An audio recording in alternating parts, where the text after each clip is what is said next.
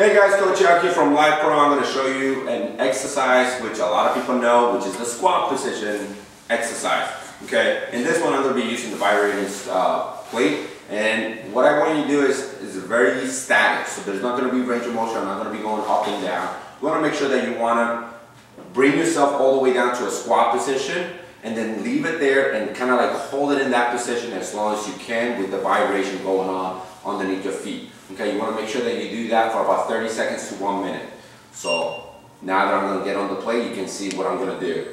Make sure you do that for 30 seconds or more and see, and you can make it a little bit more challenging like over here. And go. Very good. And you stay in that position for as long as you can.